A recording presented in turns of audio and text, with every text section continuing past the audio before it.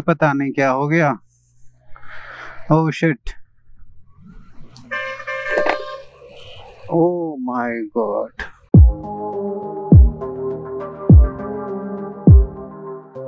right now we are in Shivpuri Gwalior से हम लोग 10 बजे निकल गए थे। अभी टाइम हो रहा है 11:30 हम लोगों ने सवा घंटे में 105 या 110 किलोमीटर कवर कर लिया है।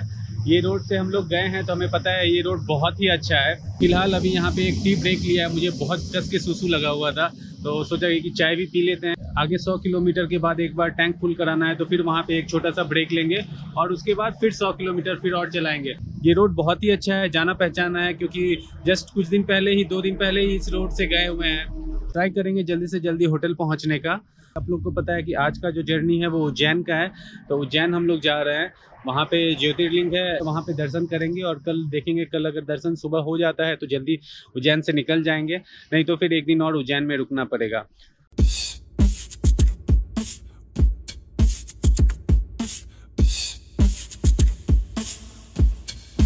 तो फटाफट चाय पीते हैं।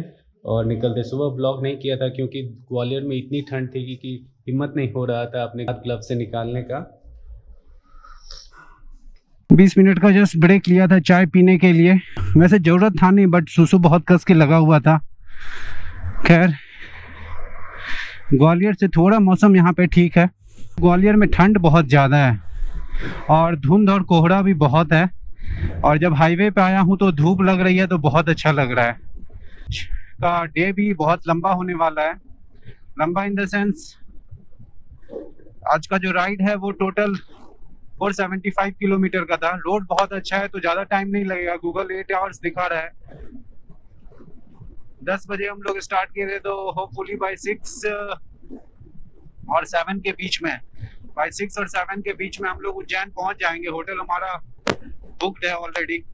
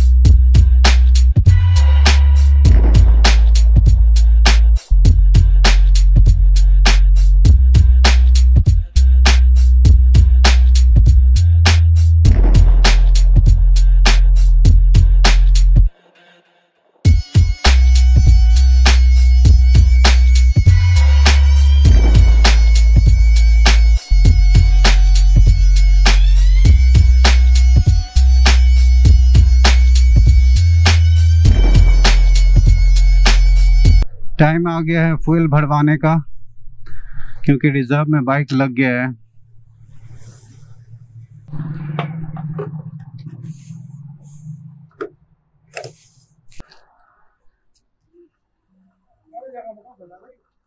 हम्म, बस बस बस बस हो गया। बंधन है हाँ बिल दे दो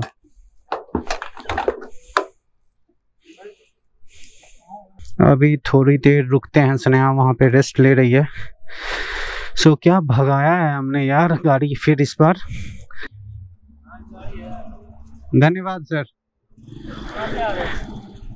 आ तो रहे बेंगलोर से अभी ग्वालियर गए थे। आ, सो क्या भगाया है अभी हमने? रेस्ट रेस्ट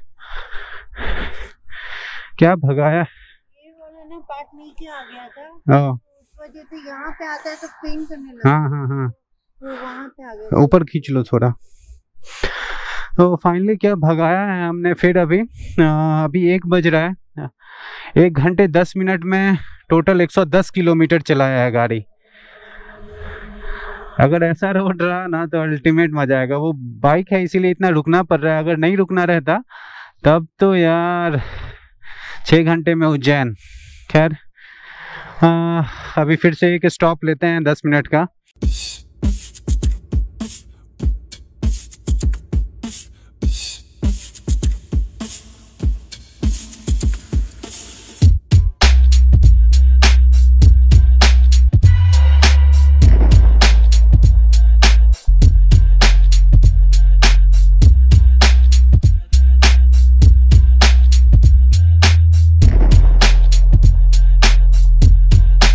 चाय की एक दरकार लग रही है, क्योंकि अब थोड़ा आलसपन आ रहा है और नींद भी आने लगेगा, अगर अभी चाय नहीं पिया तो।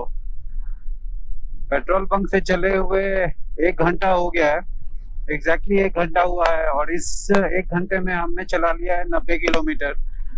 बीच में एक पैच आया था, दस या बारह किलोमीटर का जो टू लेन था, उसकी वजह से सेंचुरी अपना नहीं लग पाया, नहीं। यार अभी आराम से चलते हैं, कोई हड़बड़ी नहीं है, क्योंकि टाइम बहुत है अभी हमारे पास। जो रोड है, वो एक नंबर है। और जो कंडीशन है ना वेदर का, वो भी एक नंबर है।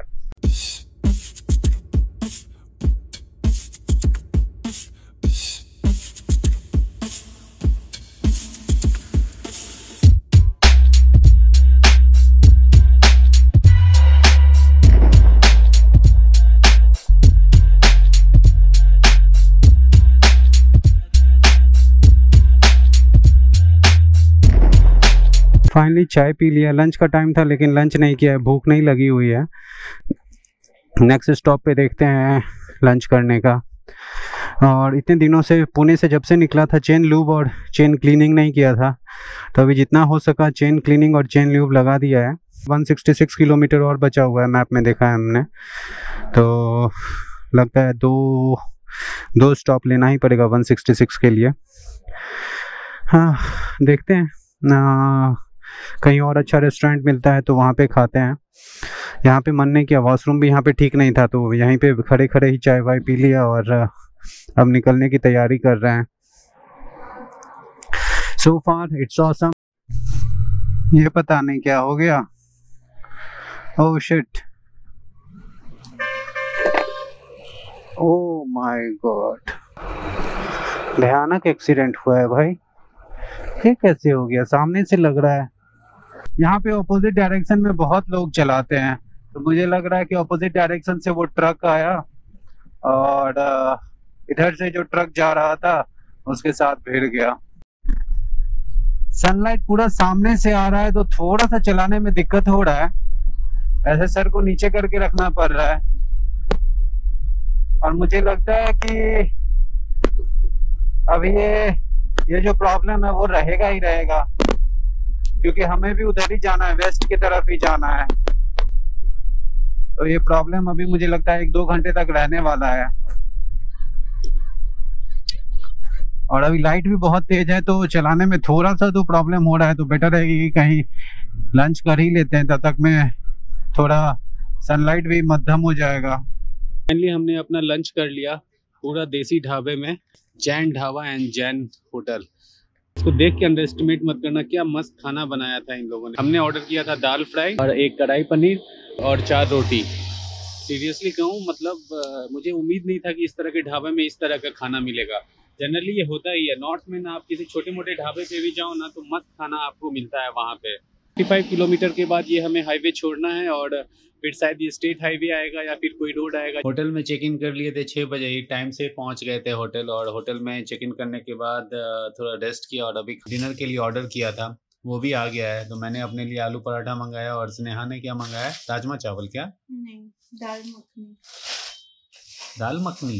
दाल मखनी और चावल। और दाल मखनी और चावल और मसाला पापड़।